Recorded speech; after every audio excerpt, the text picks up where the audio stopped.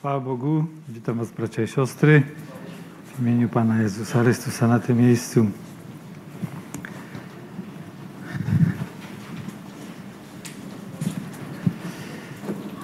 Tydzień temu rozpocząłem e, sługiwanie i tematem moich usług środowych jest osoba Ducha Świętego.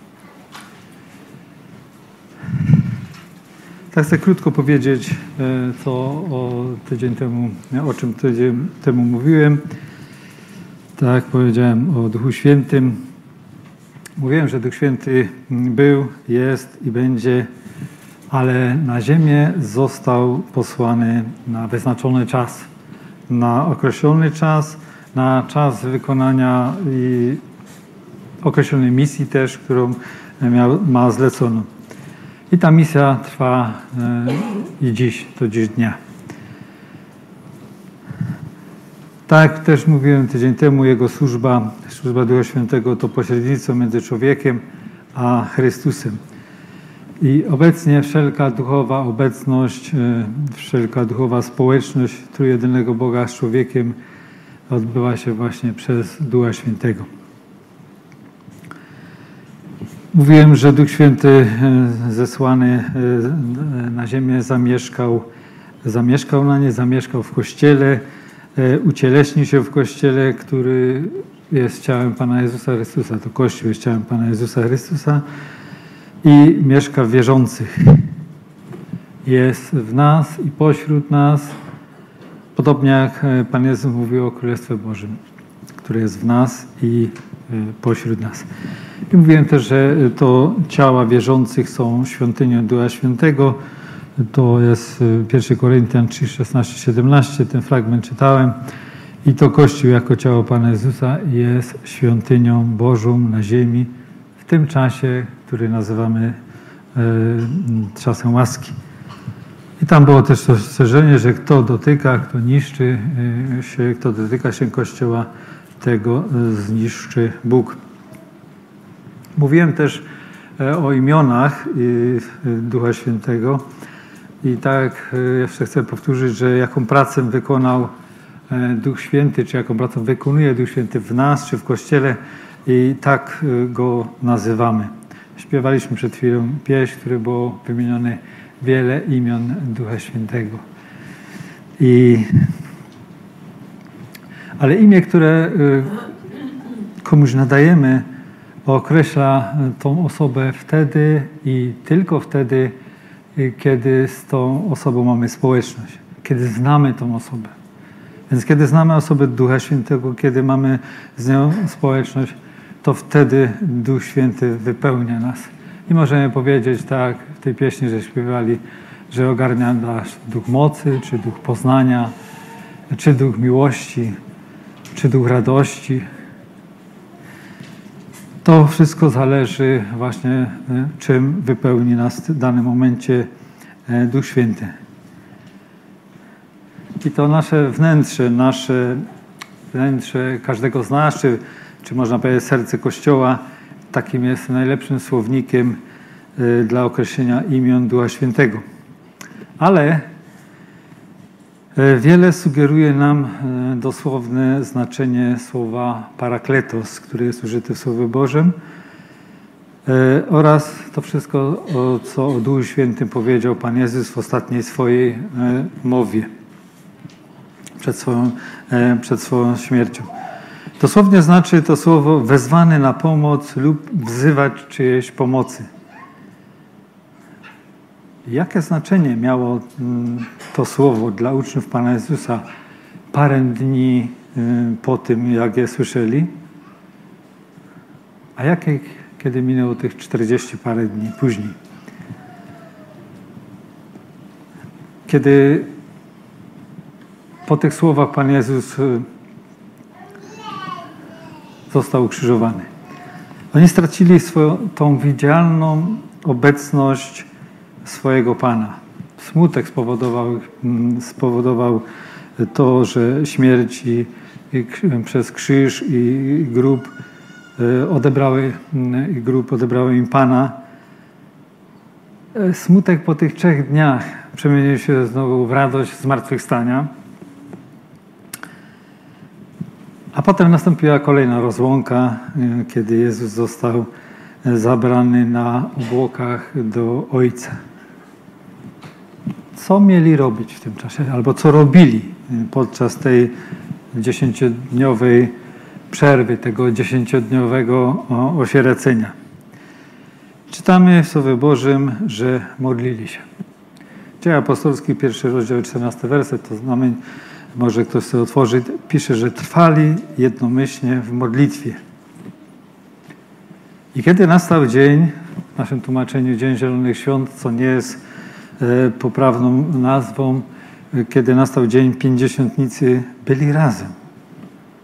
I też nie po to, żeby się tylko spotkać. Myślę, że byli razem i też się modlili. I myślę, że modlili się i zgodnie z tym, o czym mówił Pan Jezus w Ewangelii Łukasza, 11 rozdział, 13 werset, e, pisze, e, że da Ducha, Święty, Ducha Świętego tym, którzy proszą. Więc ja myślę, że oni w modlitwie trwali i też prosili. E, oni mieli też prosić Ojca, jak Pan Jezus, kiedy o, w Ewangelii Łukasza czytamy też, kiedy odchodził, to mieli prosić Ojca, aby właśnie spełnił tą obietnicę. Pan Jezus powiedział, aby czekali w Jerozolimie, a zostaną napełnieni mocą z wysokości. Także oni mieli prosić Ojca, by spełnił tą obietnicę, by posłał kogoś, e, kto zajmie miejsce Pana Jezusa. Kto zajmie to miejsce, które do tej pory zajmował Pan Jezus. Oni mieli prosić Ojca, by zesłał obiecanego Ducha Świętego, e, o którym Pan Jezus mówił e, przed śmiercią i którego nazwał właśnie pocieszycielem, czyli posłanym do pomocy dla nich. No i kiedy nastąpił ten moment, kiedy nastąpił ten dzień Pięćdziesiątnicy, a stało to się nagle dla nich, oni nie, nie, byli, nie wiedzieli, że to się akurat wtedy stanie, ale oni też byli, nie byli bierni w tym czasie, też byli na modlitwie, nie byli bezczynni. Oni przez 10 dni spotykali się i modlili. I to ta, w tym momencie jest taka też i refleksja dla mnie, czy dla nas, a my, co my robimy? Czy prosimy o Ducha Świętego? Czy wzywamy pomocy tego, który powołany jest do tego i posłany został jako pomoc, jako ten, który ma być dla nas pomocą. Nie wiem, czy prosicie, czy nie prosicie. Może ktoś powie, że przeżył chrzest Duchem Świętym. Mogę tylko powiedzieć chwała Bogu. Ale czy od tego czasu, kiedy to się stało w Twoim życiu, czy od tego czasu korzystałeś z pomocy Ducha Świętego, czy prosiłeś o pomoc, czekałeś cierpliwie, przepraszam, cierpliwie w modlitwie, aż będzie spełniona Twoja prośba?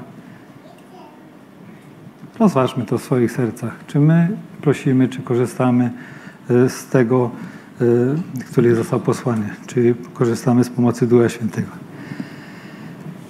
Inna kwestia jest taka, czy mm, e, uczniowie słysząc obietnicę Pana Jezusa, który ja to, nie będę tych wersetów czytał, ponieważ tydzień temu je czytałem, ale E, jeśli ja nie odejdę, pocieszyciel nie przyjdzie do was, a jeśli odejdę, poślę go do was. Czy to była dla nich jakaś kwestia, czy to był jakiś problem, czy myśleli, czy to będzie osoba, czy może rozważali w swoich sercach, albo pytali się wzajemnie, kto to będzie, czy co to będzie, czy ten tajemniczy pocieszyciel właśnie będzie osobą. Ja myślę, że oni nie mieli wątpliwości, ponieważ obiecany pocieszyciel miał zająć miejsce najważniejszej dla nich osoby, czyli miał zająć miejsce mm, e, Pana Jezusa. Aby przez nich, aby przez nich właśnie mocą tego ducha czynić jeszcze większe rzeczy niż On czynił, bo tak powiedział Pan Jezus.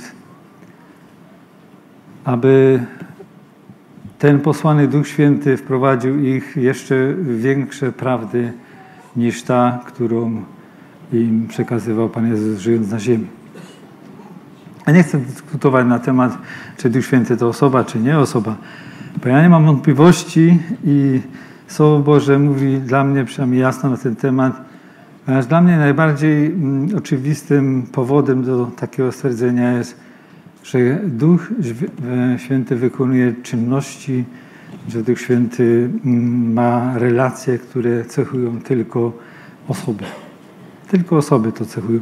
On mówi, on czyni cuda, on ustanawia mm, urzędy w kościele, on nakazuje, on zabrania, modli się za nami, świadczy, może być zasmucony, może być znieważony, można mu się sprzeciwić i tak dalej. Można wymieniać różne stwierdzenia, które są w Słowie Bożym i tylko tyle e, na temat tego, że Duch Święty jest osobą. Dalej chcę powiedzieć, że Pan Jezus w swojej paschalnej y, mowie y, stara się y, zaznajomić uczniów z osobą Ducha Świętego, z tą tajemniczą, przynajmniej w tym czasie dla nich tajemniczą, niewidzialną osobą, którą nazywa pocieszycielem. Pan Jezus czyniąc to, czyli przedstawiając osobę Ducha Świętego, e, porównuje go, e, Ducha Świętego z samym sobą. Porównuje e, go z sobą, który jest widzialny, który w tym czasie jest widzialny. On był między nimi. I właśnie w tych porównaniach znajdujemy takie pozorne sprzeczności. Niektórzy w tym widzą sprzeczności, ja mówię, to są pozorne sprzeczności. Po prostu to sprzeczności wynikają z tego, że mamy ograniczone, ograniczone zrozumienie e, trójjedynego Boga. Jaka jest, są powiązania między tymi osobami, jakie są zależności, jaka jest współpraca e, tych osób. Nasze poznanie jest, e, krótko mówiąc, cząstkowe, nasze zrozumienie jest cząstkowe i stąd, i stąd właśnie mogą wynikać takie sprzeczności. Jedną z tych takich pozornych sprzeczności można by sformułować w ten sposób, że Duch Święty jest inny, a jednak taki sam. Ewangelia Jana, 14 rozdział i 16 werset czytamy tu tak. Ja prosić będę Ojca i dawam innego pocieszy, pocieszyciela, aby był z wami na wieki. Nazywa go inny pocieszyciel. Czyli inny od kogo inny? Od kogoś inny jest. Greckie słowo właśnie oznacza inny, drugi, różny. To słowo, które jest tam użyte, takie ma znaczenie. Czyli używając e, określenia inny, e, nasz Pan odróżnia pocieszyciela od siebie. Ale jednocześnie utożsamia się z nim i stawia go na równi z sobą. To wynika z następnych wersetów, chociażby z wersetu 18. Ja tydzień temu te wszystkie wersety czytałem. Nie zostawię was sierotami, przyjdę do was, mówi Pan Jezus. Kiedy właśnie utożsamia się z Duchem Świętym. Pan Jezus był i jest pocieszycielem.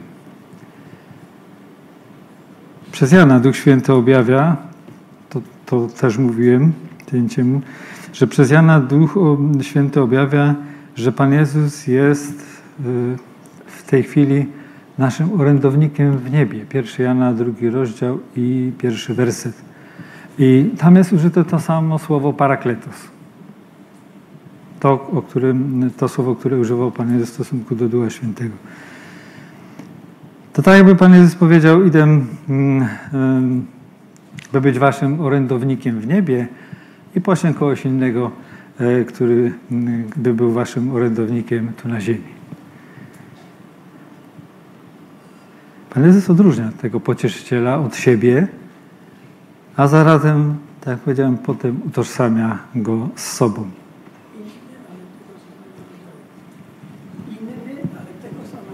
Tak, inny, ale tego samego rodzaju, brat powiada. Właśnie o to chodzi. E, daje, właśnie Pan Jezus w tym wersecie 18 daje obietnicę swego przyjścia, e, która się właśnie odnosi do Ducha Świętego. On jest innego rodzaju. Przyjdzie niewidzialny, przyjdzie niewidzialny Duch Święty. Przyjdzie jako niewidzialny. Niektórzy opacznie zrozumieli to jako drugie przyjście Pana Jezusa. Nie chcę na ten temat y, dyskutować, ale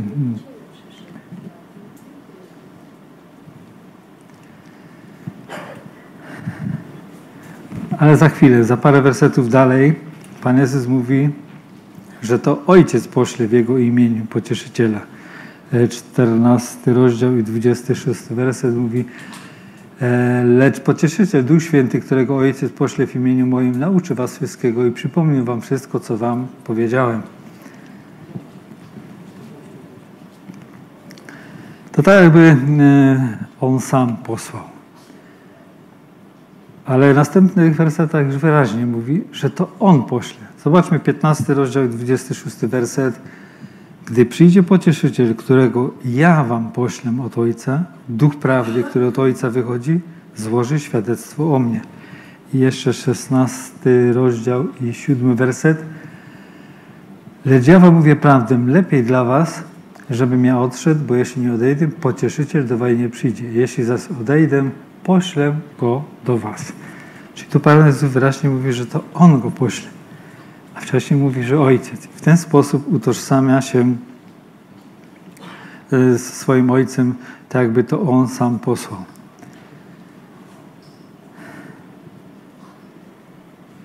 Pan Jezus e, mm, pośle, mm, mówi Ducha Świętego, kogoś innego, kogoś drugiego, e, inną osobę, tak, tak, tak to, to słowo określa. Tak, y, w ten sposób ten, w tym jednym akcie, w tym jednym akcie y, przyjścia Ducha Świętego na ziemię powoduje posłanie Ducha Świętego, przyjście Ducha Świętego. I mówi o Panie o swojej obecności w Duchu Świętym jako obecności, swojej obecności w nas i pośród nas. Inna taka pozorna sprzeczność, która też wynika z, z naszych, naszego częstowego poznania, można by sformułować tak, pocieszyciel jest podległy, a równocześnie nadrzędny w jego służbie w Kościele. Ewangeliana 16 rozdział i 13-14 werset Lecz gdy przyjdzie On, Duch Prawdy, wprowadzi was we wszelką prawdę, bo nie sam od siebie mówić będzie, lecz cokolwiek usłyszy, mówić będzie i to, co ma przyjść, wam oznajmi. On mnie uwielbi, gdyż z mego weźmie i wam oznajmi. Bo z mego weźmie i wam oznajmi. Ja tydzień temu mówiłem, y, kto wykonuje czyje dzieło, kto kogo poleca i od kogo mm, przekazuje wiedzę. I tak mówiąc krótko, e, syn uwielbia ojca, wykonuje jego dzieło, przekazuje od ojca wszystko, a Duch Święty uwielbia syna i też wykonuje e, to, co ma od syna, to, co słyszy, bo mówi, że z mego weźmie. A polecają się odwrotnie. Bóg polecił swojego ojca, który powiedział, ten jest syn miłowany, a Pan Jezus poleca Ducha Świętego, tak jak mówiłem w objawieniu siedem, siedem razy, mówi o tym, aby słuchać e, Ducha Świętego. Chociaż stoi tak na marginesie tego poddania się,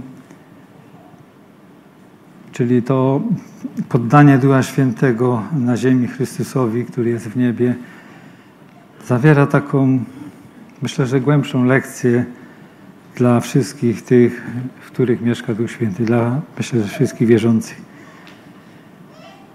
Myślę, że wierzący napełnieni Duchem Świętym też poddają się Jezusowi.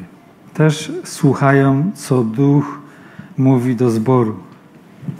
Bo Duch Święty przekazuje słowa od Pana Jezusa, od głowy Kościoła, od tego, który jest y, naszym Panem. I tak ma wyglądać nasze życie, żeby byliśmy poddani Jezusowi, który przez Ducha nam przekazuje e, wszystko. lekcja, w której mówi, że, e, że można się, jest, ma głębszy sens, mówi o tym, że Duch Święty składa świadectwo o Jezusie, że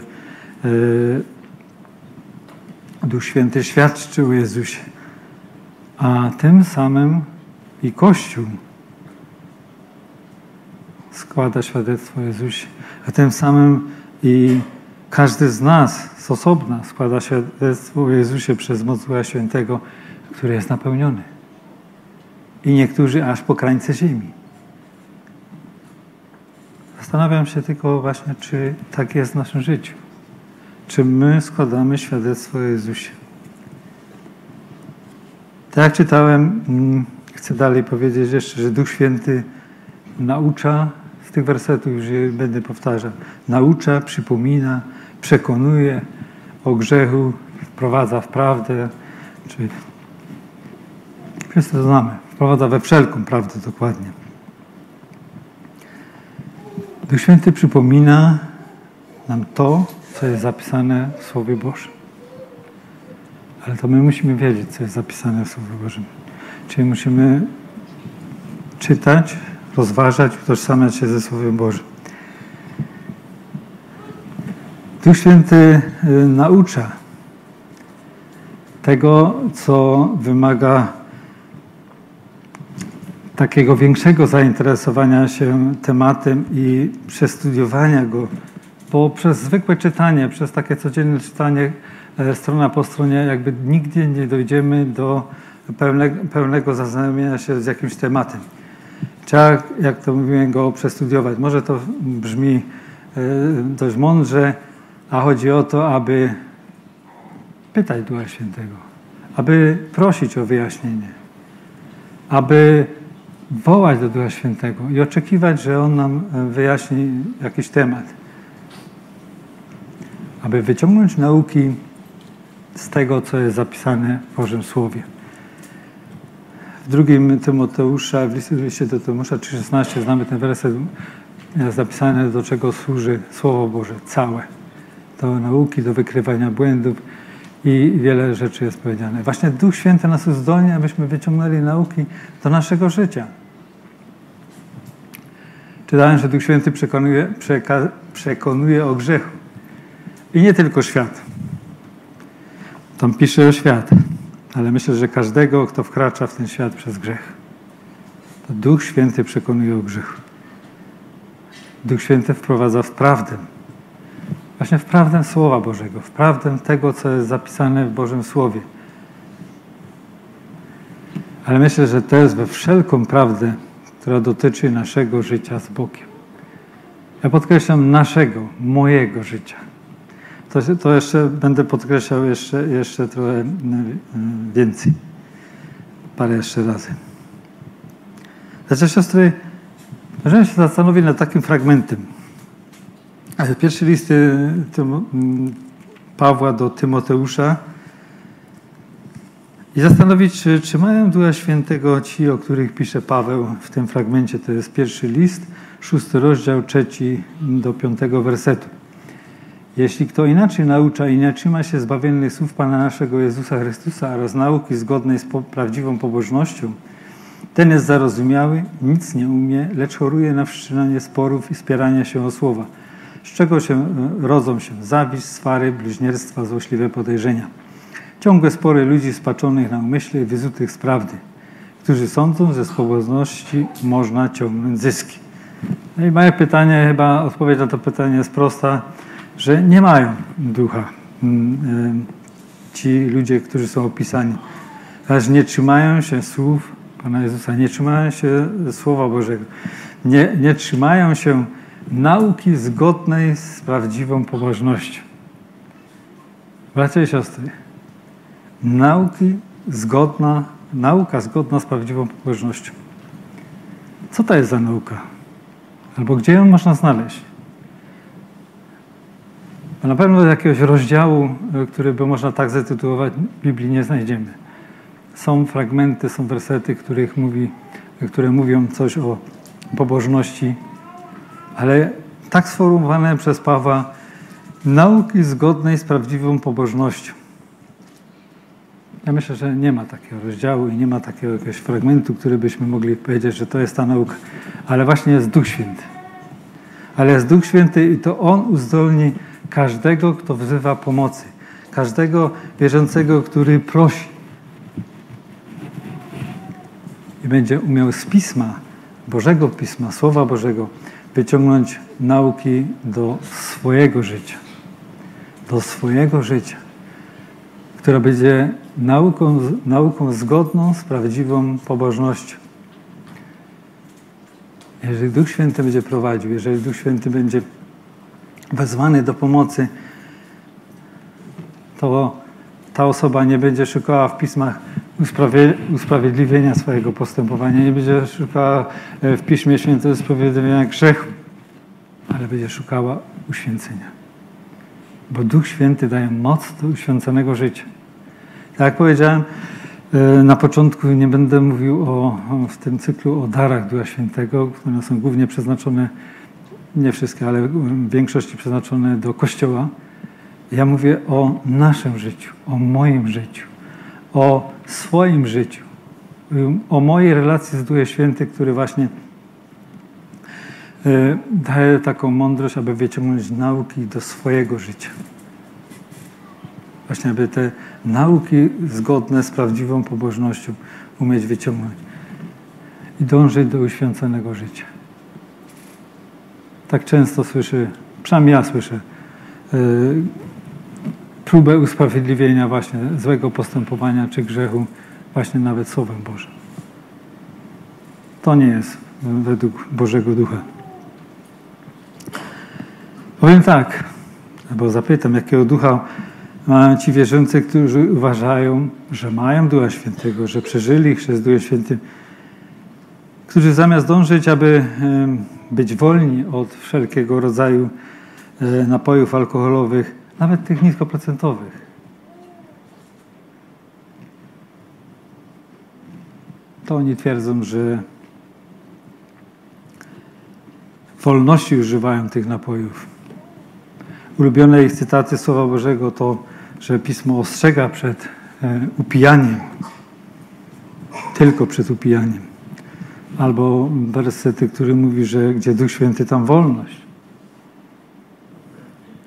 Pytam, ale do czego masz wolność? Albo od czego jesteś wolny?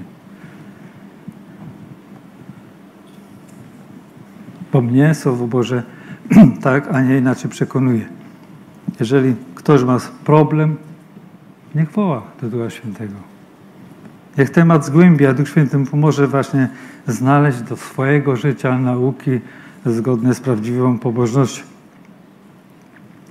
Gdyby ci ludzie mieli Ducha Świętego, to Duch Święty by im przypomniał, by ich nauczył, że grzechem jest złe świadectwo, że grzechem e, jest gorszenie innych wierzących, szczególnie tych e, maluczkich, jak Słowo Boże nazywa, że to nie podoba się Bogu.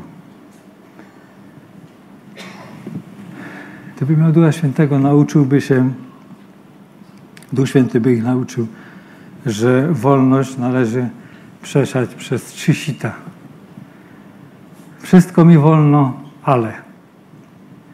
W liście, pierwszym liście Pawła do Korynta, 6 rozdział, 12 werset i 10 rozdział, 23 werset. My to znamy nie będę czytał. Wszystko mi wolno, ale. I kiedy przesiejemy, kiedy przesiejemy e, tą naszą wolność przez te cisita, czy to jest pożyteczne, czy to buduje, czy to mnie zniewala, będziemy mieli odpowiedź. Duch Święty nam pokaże, jaka jest odpowiedź.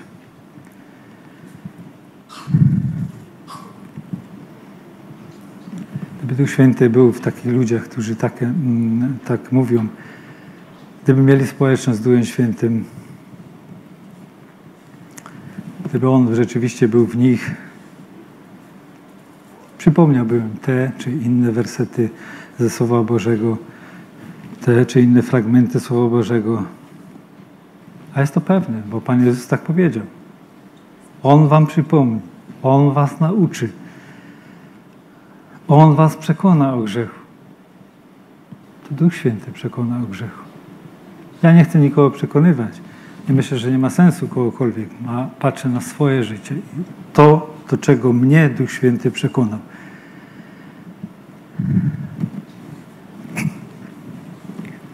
Jeżeli będzie w nas Duch Święty, to nie będzie pytań typu a co w tym złego? Ile razy to słyszałem? A co w tym złego? Przy różnych okazjach, to nie tylko w tej sprawie. Znaczy, siostry, inaczej. Jak to jest, że jednych wierzących Duch Święty przekonał, że to grzech, a innych nie? Czy to jest wina Ducha Świętego? Na pewno nie.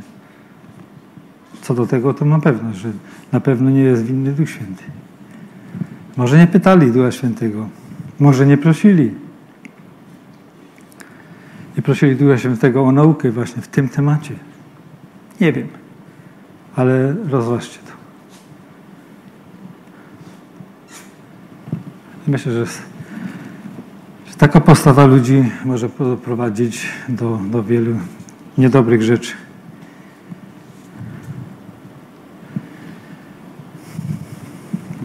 Że siostry, jeszcze może, może chcę powiedzieć jeszcze, że większą zgrozą ogarnia mnie e, stan ducha wierzących, którzy piszą książki, artykuły, wypowiadają się w różnych mediach, których rozważają sprawy damsko-męskie. Rozważają w nich, od jakiego momentu zaczyna się grzech.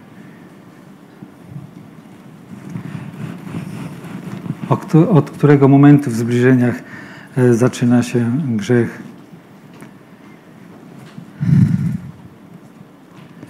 Albo co z tych kontaktów jest e, dozwolone. Jaki dotyk, jaki pocałunek jest dozwolony. Nie chcę, nie chcę w szczegóły wchodzić i nie jest to spotkanie małżeńskie, ale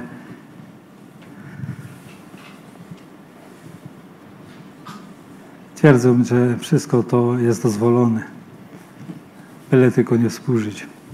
Ja myślę, że błądzą takie osoby i, i nie mają ducha i nie pytały Ducha Świętego, no, ale niestety inni to czytają, inni to oglądają. Jedni przyjmują, jedni odrzucają taką naukę, ale zasiewają taką naukę. Ale Duch Święty, ja myślę przynajmniej, że Duch Święty wierzący przypomina im słowa Pana Jezusa, że ten rodzaj grzechu zaczyna się w sercu. I Duch Święty przypomni zasadę, która jest napisana w pierwszym liście Pawła do Koryntian, 7 rozdział i pierwszy werset. Ja nie będę czytał tego, bo to nie jest tematem, ale dobrze jest, jeśli mężczyzna nie dotyka kobiety.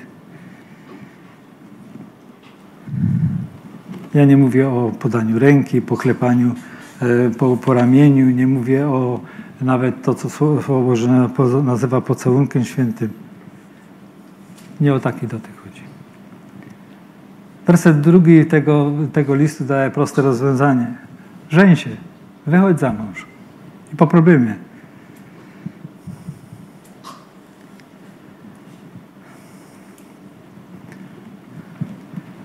jeżeli któraś osoba ma z, z tym problem, to niech, niech po prostu da sobie że to wszystko, czego e, pragnie dać drugiej osobie, albo to wszystko, co pragnie wziąć od e, kochanej osoby, jest zarezerwowane jest tylko dla małżeństwa i tylko dla małżeństwa. Taka jest Boża wola. A słowo dotknąć znaczy dotknąć. Posłyszałem, jak niektórzy tłumaczą to, że tu chodzi o współżycie. Tak sobie lekko to przetłumaczają. Ja się może powtarzam w tym, ale mm, kiedyś młodzież w tej sprawie zadała mi pytanie, które było sformułowane w ten sposób: jak daleko jest za daleko? Mówię o sprawach damsko-męskich. I powiedziałem mi wtedy też jednym zdaniem: każde daleko jest za daleko. Jak już pytasz o daleko, to znaczy już jest za daleko. Rozgadałem się, miało być tylko na marginesie.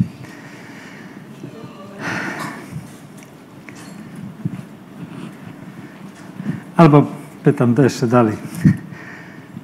Jaki to duch poddał niektórym taką myśl, że narzeczeństwo, że ogłoszenie narzeczeństwa daje jakieś przywileje w cielesnych zbliżeniach. Że część jakby małżeńskich przywilejów to już mają w swoim ręku. Chyba zły duch, bo inaczej tego nie mogę powiedzieć. Niektórzy twierdzą, że mogą więcej niż brat siostrą sobie mogą pozwolić, byleby nie zgrzeszyli. Byleby nie przekroczyli tej granicy, kiedy to już jest grzech.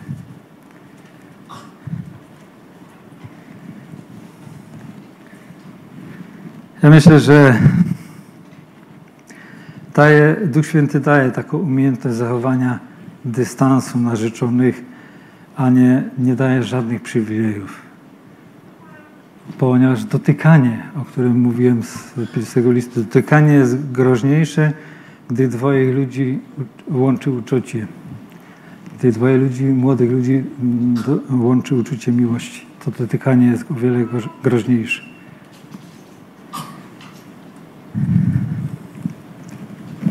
Bracia siostry, ogłoszenie małżeństwa daje tylko jedną korzyść. Tych dwoje ludzi wzajemnie poręcza sobie siebie, zaręczając się. A inni niech po prostu starają się, niech nie starają się o ich względy, inni niech, ponieważ oni są przeznaczeni dla siebie, to niech już inny niech stara się. Nie ma żadnych przywilejów, które by były e, z tym stanem związane. I to nie są żarty, to nie jest jakaś zabawa. Zaręczyć się można tylko z jedną osobą.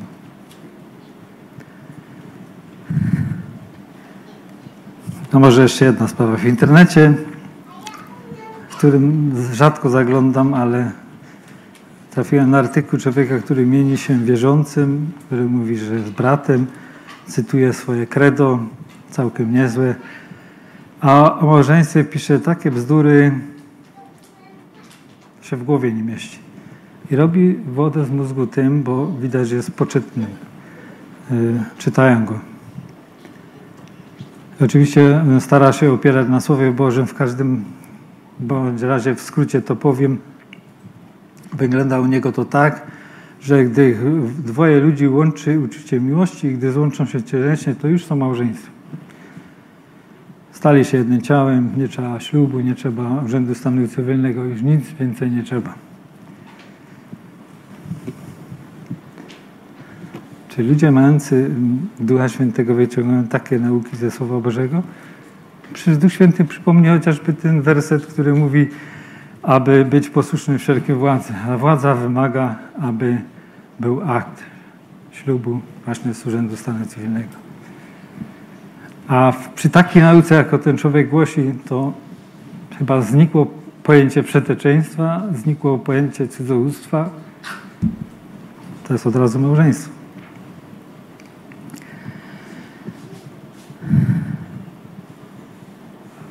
Mówię o tych sprawach, ponieważ takie nauki się czasem słyszy.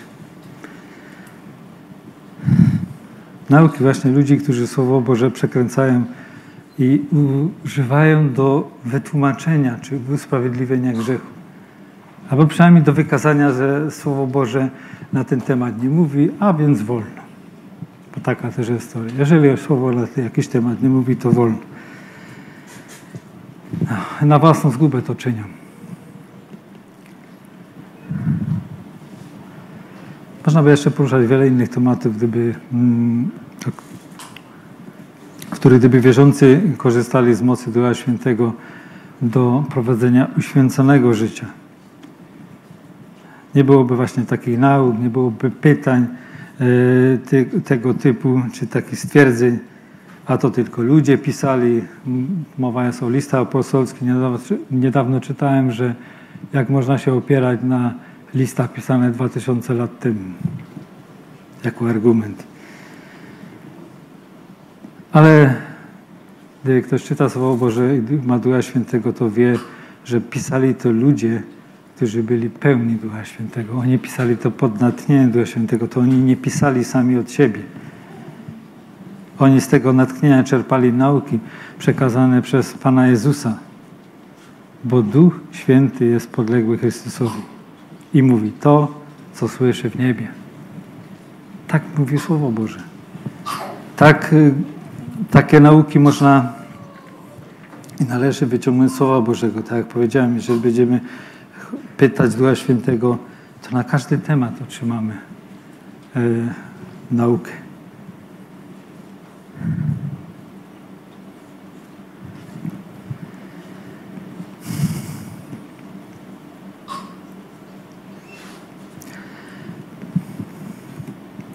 Najczęściej mm, mówiąc o Duchu Świętym, mówimy, że Duch Święty, kiedy mówimy, że Duch Święty naucza, myślimy o takich darach jak e, mowa, mowa mądrości, czy mowa wiedzy, czy y, dar nauczania. A tak jak powiedziałem, ja nie chcę mówić o tym. Tak jak powiedziałem w tym cyklu, nie, nie będę mówił o darach, ale chcę mówić o nauczeniu Ducha Świętego w naszym osobistym życiu w moim osobistym życiu. W naukach, które nam daje Duch Święty, aby nasze życie było uświęcone. Abyśmy mieli poznać nauki, które są zgodne z prawdziwą e, pobożnością. Ale wracając do tej drugiej sprzeczności, której przerwałem i, i, i coś na marginesie chciałem powiedzieć, Jak to jest możliwe, że przy takiej podległości Ducha Świętego Chrystusowi, przy takiej subordynacji, o której mm, mówi Słowo Boże, odejście Pana Jezusa, a następnie przyjście Ducha Świętego, by zajął właśnie Jego miejsce, jakby to miało być korzystne dla uczniów, jakby to miało być korzystne dla nich. Pan Jezus mówi e, lepiej. 16 rozdział, 7 werset to czytałem już, więc e, nie. mówi lepiej będzie dla was.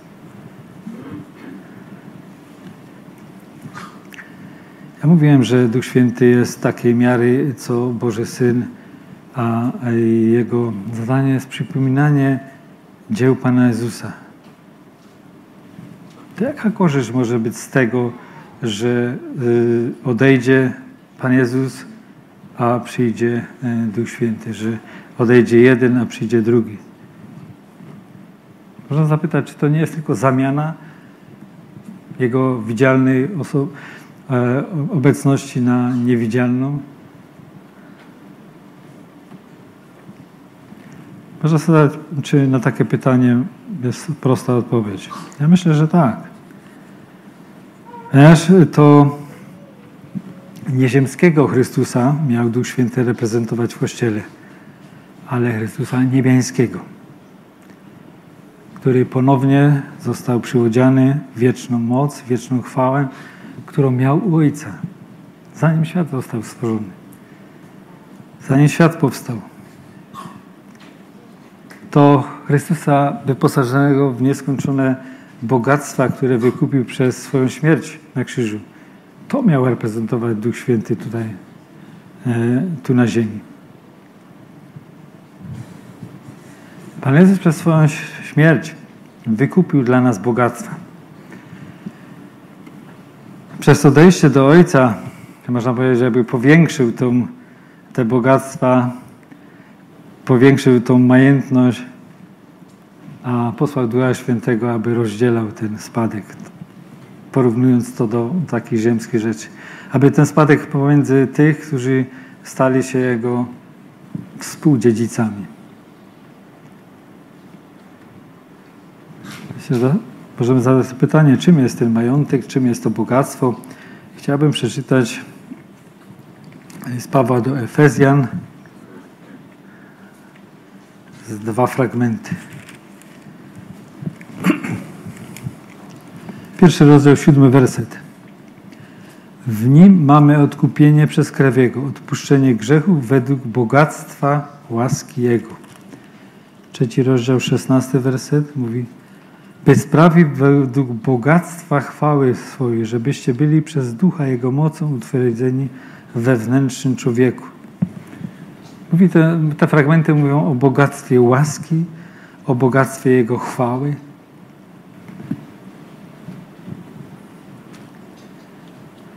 To na krzyżu zostało zapewnione nam bogactwo Jego łaski. Przebaczenie grzechów, które, które dostąpiliśmy. A na tronie Ojca, którym teraz jest, jest bogactwo Jego chwały. I to zostało nam dane przez umocnienie nas mocą Jego ducha wewnętrznym człowieku, tak jak czytałem. Aż do wypełnienia całkowitego wypełnienia pełnią Bożą. Gdyby Duch Święty przyszedł przed niebostąpieniem Pana Jezusa, to nie miałby tego pełnego dziedzictwa, e, które mógłby przekazać nam.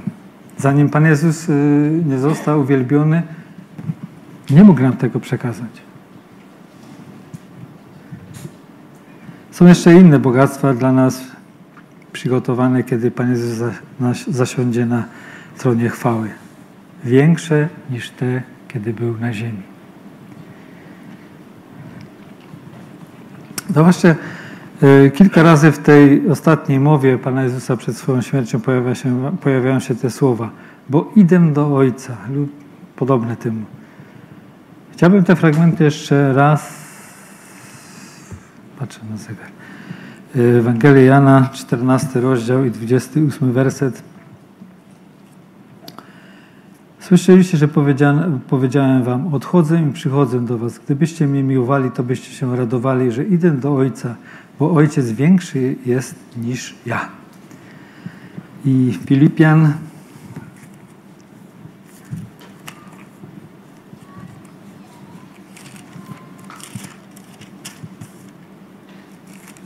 drugi rozdział i szósty, siódmy werset który chociaż był w postaci Bożej, nie upierał się zachłannie przy tym, aby być równym Bogu, lecz wyparł się samego siebie, przyjął postać sługi i stał się podobny ludziom, a okazawszy się z postawy człowiekiem, uniżył samego siebie i tak dalej. Chodzi mi tylko o ten fragment. Ta końcówka, którą czytałem w Ewangeliana,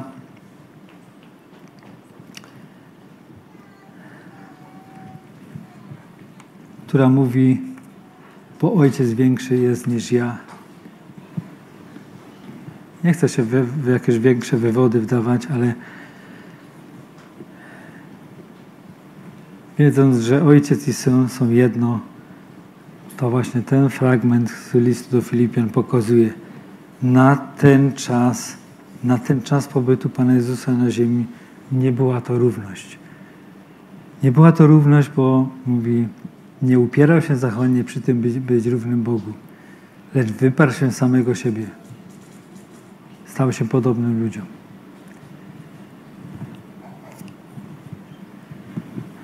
Ja myślę, że odejście Pana Jezusa do Ojca, to powrót do Ojca oznacza właśnie przyjęcie przez Niego tego, czego On się wyparł, będąc tutaj na ziemi.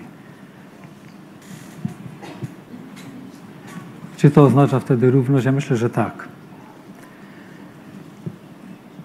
I dlatego, jak mówi Pan Jezus, lepiej, że odejdę. Lepiej, że odejdzie, bo będzie mógł przekazać większe błogosławieństwo, polegające właśnie na większej mocy, na większej chwale. To, co czytałem, w którą wejdzie Pan Jezus, zasiadając za tronie po prawicy Boga.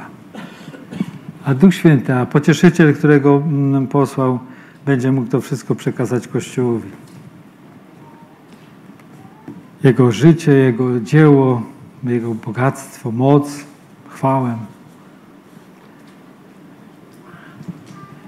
Luther ten fragment e, tak skomentował.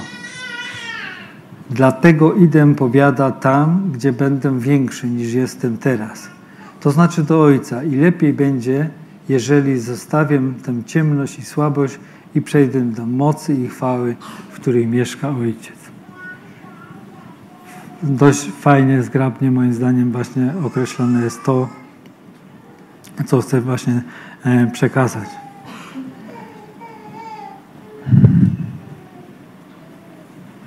16 y, Ewangeliana, 16 rozdział i 15 werset mówi tak.